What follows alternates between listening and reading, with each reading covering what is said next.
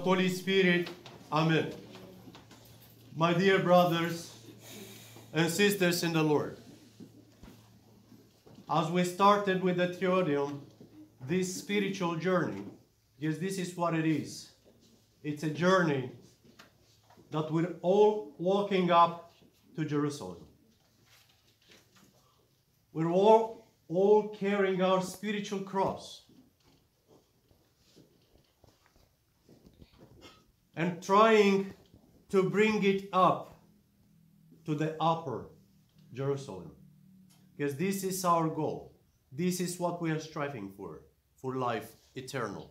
And the purpose of this specific period of the Triodion as we started till the fifth Sunday because pretty much the fifth Sunday is the last one because next Sunday is Palm Sunday which we are celebrating the feast of the entrance of the Lord in the Jerusalem. So and after al- along with him we will walk through his passion. So and this Sunday is pretty much the last one that is dividing this is pretty much our journey is at the end and we're trying with all our strength to be prepared for this spiritual meeting with the Lord to walk along with him through his passions and along with him to raise up again and to receive the light of lights, to receive the life and guidance to our spiritual elevation. And as you see, he's preparing the disciples in this gospel that we just heard, literally telling them the details of what is going to happen to him in few days. And after listening to what he has to say, two of them, John and James, taking him on the side, Lord, we want to ask you for a favor. so you see the attitude. So we, we want you to do something for us. Not even not even begging him, please, you know, but we want you, you gotta do this, you know. You have no choice, pretty much. We're, this is how we are acting. You know, Lord, if you're not doing that, I'm going the other way, you know. So we're pretty much try, trying to make him, you know, to do our will. And uh, this is what we are looking for in especially our generation. A God according to our own measurements. So if no, we're putting him on the side, on the shelf, and let him stay there. We're doing our our life and we're taking our route, the way we want to live. Right? It's amazing our approach and why is this? First of all, we are seeing these disciples and the others, the other 10, got indig- indignant. Oh, wait a minute. Like, you're stabbing us pretty much on our backs. You want all the power. How about us? Right? So, see, they, even though they witnessed these three years, everything what he has done, all the miracles, and yet they did not understand anything because they, they yet were looking for position for earthly position they wanted to govern. Because this was the misinterpretation of the prophecies of the old testament. And who was interpreting the the prophecies? The scribes and the pharisees. Those that were teaching the law. So, and this is for us also in our days because we have all the teaching of the Lord. We have the gospel, we have the prophecies, we have the revelations. And unfortunately, a lot of people in our modern day, this, they are trying to translate that. Specifically with the prophecies and the revelations. What is going to happen? One is when is going to happen? How many times people were prepared, waiting for the end of times. They, they sold everything and they were waiting dressed in white, waiting for the second coming. But we're not paying attention while we're trying to do that because he said no one knows, even the angels. They don't know. But he gave us some signs that will happen. We are seeing a lot of them happening. Are we close? Pretty much. But that doesn't mean that it's going to happen right now. We have to prepare constantly. That's why he said you have to be ready at all times because you don't know when this will come. So that's why we have to live every single minute, every single day, like the last day on earth. Don't wait, oh, you know, I still have time. No, don't, don't wait for that because you don't know how much time you have in your hand. No one knows. Because the end can be partial or can be total. Partial to each one of us when the bell rings. Come on, soul, your time is up. Or total when the second come, coming will be. But we don't know neither one of them. That's why we have to be ready at all times. Not getting the evil ones ideas that, oh, you know, you're still young, you have a lot of time in front of you, so live now, drink, have merry, party, and whatever you, else you want, and everything else will come when you'll be older. No, that's the, it's a wrong and very mistaken approach. So let's try to listen to the voice of the Most High God that speaks to, to us through the Holy Gospel, through the church, through the mysteries that the church provides to, for us. And so let us learn from this gospel. When they did this approach and this request to, to him, what he said, you don't know what you're asking for. Do you think are you able to drink the cup I will drink or to be baptized with the baptism I will be baptized? They said, Yes, we will. And he said, Well, okay, so you, you're going to receive the baptism that I will and drink the cup that I will, but sitting on my right or my left is not mine to give but is our earthly Father, which, and those places are prepared for those that He prepared them from the beginning of times. And what else? He's telling them that these things should not happen among us, meaning the Christians. Because he said, the greatest of you have to be the last and servant of all, as I did. Even though I am your creator and God, I did not come to be served, but to serve. Did you see any king to wash the feet of, the, of his slaves? No. But he did. And he is not just a king, the king of kings, the creator of all. Isn't this amazing? So, the love that he shares with us has no limits. Only and I'm not talking only about the washing of the feet, but to receive our flesh, to live our life. This is the greatest sacrifice from His side.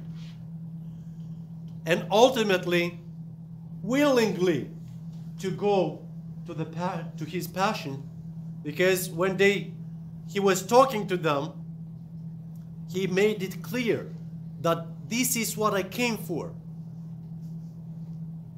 That's the purpose, that's the reason of my incarnation. But they did not understand it. They wanted earthly positions. And so, so it's happening in our generation. See, our kids from school, they want to be first. They want to, to rule over others, to be in charge.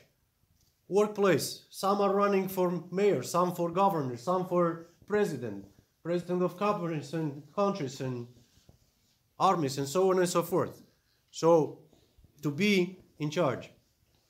It's not that God wants us to be without govern, no, but He wants the govern, first of all, to seek the truth and to govern in truth. So, but today we are seeing through these through, through the steps that we are going pretty much we are living a dissolute life without god a faithless generation as he said oh faithless generation how long i'm going to be with you how long i'm going to bear with you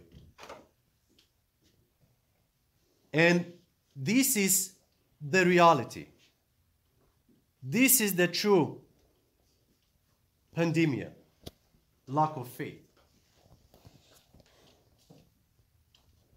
This is what we are missing. It's not the economical crisis, it's the spiritual crisis. We left God, we left His commandments, we left His truth, we left His church. Everything, we turned our backs to Him. But we are trying yet to find someone that is at fault. Oh, you know, the president, the governor, the one and another.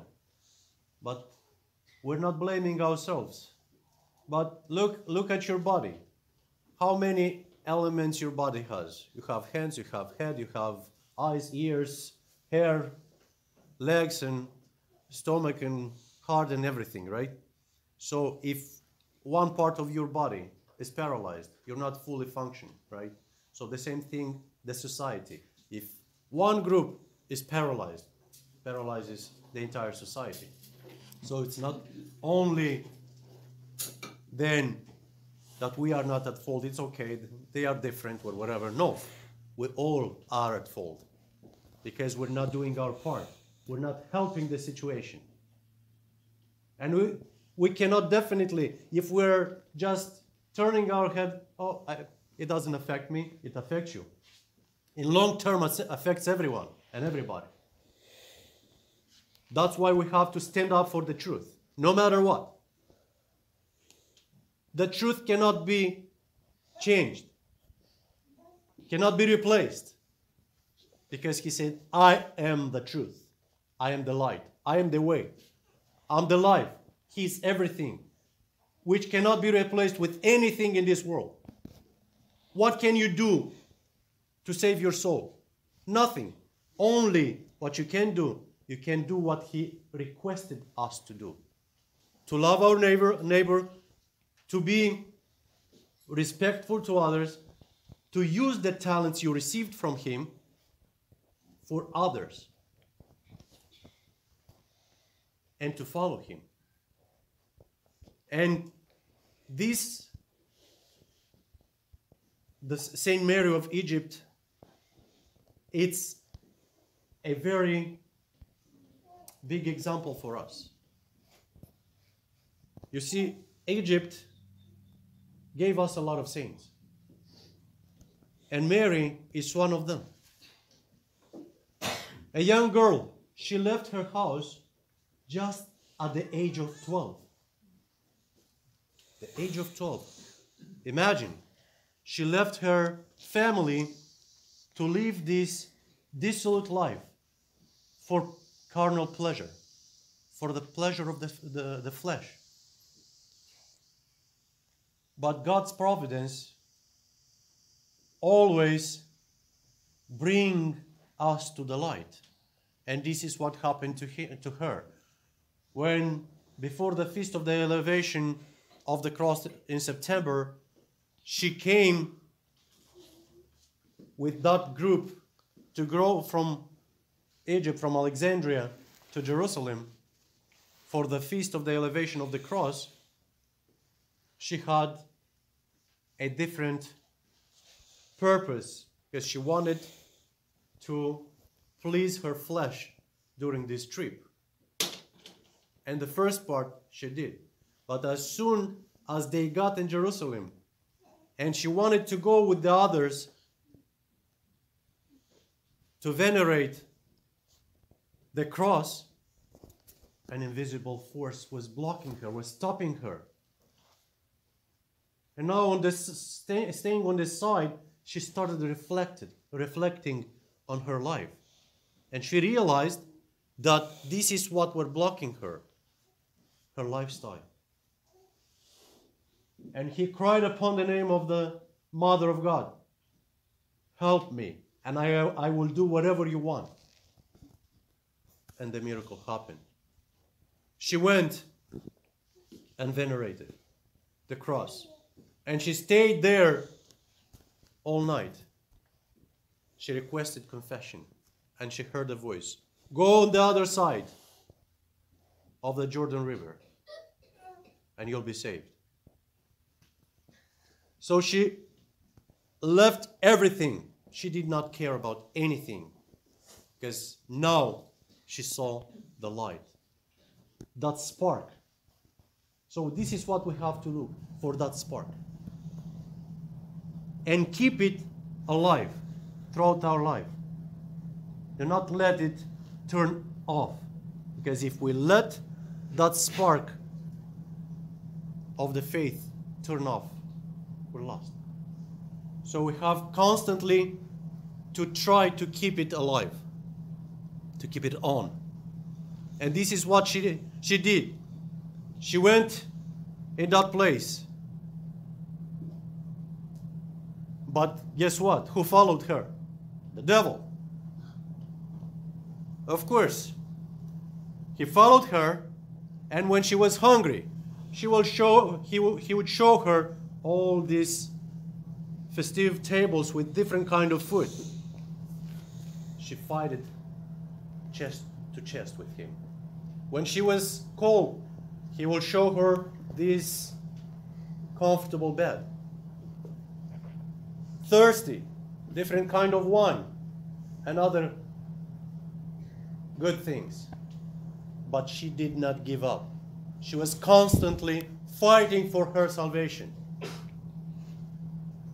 And there also was this hieromonk Zosimas, which he thought of himself, another temptation, that he is the best of all the monks from the monastery, so no one had reached his spiritual level. And then he heard a voice that look better and you'll find there are some better than you. And as the tradition of the monastery was on the clean Monday, the monks were leaving and coming back before the Saturday of Lazarus, that Friday before the Saturday of Lazarus. So they will take just some seeds with them to, or some dry, dry antidoron, and uh, that, that will be it. And they will live in the desert for five weeks. So going there, towards the evening, he see, sees a shadow. First, at first, he thought that is the evil one. He did the sign of the cross, but the shadow did not dis- disappear. So he started following, and the shadow was moving. He started running. The shadow was running. He was running out of breath and said to the shadow, Stop. And the shadow stopped. And he was coming. He said, Please do not come, but throw me your raso because I'm naked. And he did. And she came and told him life, him her life. This is how we know all the details about her life. But see, today both men and women. What is Saint Zosima today and clergy and everything? To give us the raso to cover our nakedness because we are naked. You walk on the street, no, not only close to the beach, but everywhere. What we are doing, what we are showing to this young generation, we are poisoning them with our attitude, with our disobedience, with our uncleanness. And we're, we're, we're looking and asking who is at fault. You see that we are part of that problem. The problem is not there on itself, but we are part of, that, of the biggest problem. See, like in order to make a puzzle, there are many small pieces. So each one of us is a piece of that big puzzle. And we have to realize that. And we have to repent. Because repentance is the key. That's what we're doing this period from the beginning of the Triodion. And what repentance is when we realize that we are at fault, that we are not so good and so perfect as we think about ourselves. So, my dear ones, we have to call to mind. We have to dig deep in our heart, in our soul, to find the mistakes, to confess. Because confession is the result of repentance. After we realize what,